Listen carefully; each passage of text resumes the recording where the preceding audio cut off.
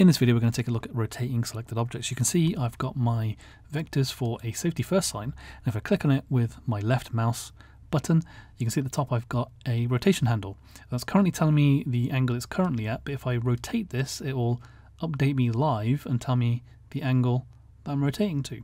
Now I can actually enter a, value in this field. And if I put in 45, for example, and hit enter, it rotates it 45 degrees anti-clockwise. And if I put in a value by clicking on the rotation handle again, but put it as minus, you'll notice it goes clockwise.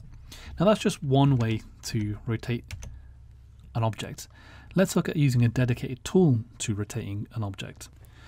So you can see here if I go over to my transform objects I've got this option here to select uh, rotate selected objects or hit R on the keyboard and we've got a couple of different options here. So the first option you can see is either to use coordinates or the anchor points.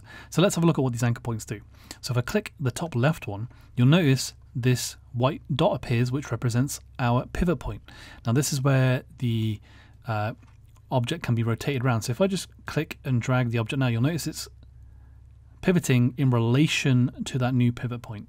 So it's going from that top left one, and if I go to top right, you can see the pivot point has moved over to here. And if I rotate it this way, you'll notice it will rotate in relation to that pivot point. So you can set that by using the anchor points or you can use the values here. So let's say you want to use a value of 5 and 5, so make sure you've got use coordinates clicked first. I can use 5 and 5 and you notice here it is our pivot point at 5 and 5 and I can just rotate that around our pivot point. Now we have some other options here as well. We have the options to have a type of rotation, so absolute or relative. So if we go back into our anchors here, and if I do the middle point there, and if I go for an absolute rotation, I can enter a value here. So let's put in 45, and it rotates it by 45 degrees. Now you notice if I hit apply again, it won't do anything because it's an absolute move, meaning that it's going to the absolute coordinate or angle of 45 degrees. So it cannot go any further because it's the absolute angle.